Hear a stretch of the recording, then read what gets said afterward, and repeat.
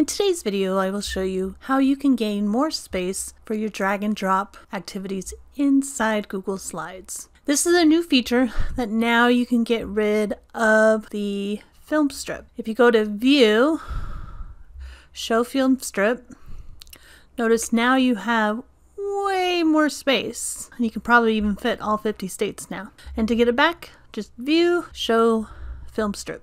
As of now, there's no keyboard shortcut for this, and there's no way to share it to students, so it automatically removes the film strip. Maybe those features will be coming soon. That would be amazing. So for right now, you, you will have to teach students to go to view, show film strip to gain that more space. If you learned something new, give this video a thumbs up and consider subscribing for future videos. Until next time, bye everyone.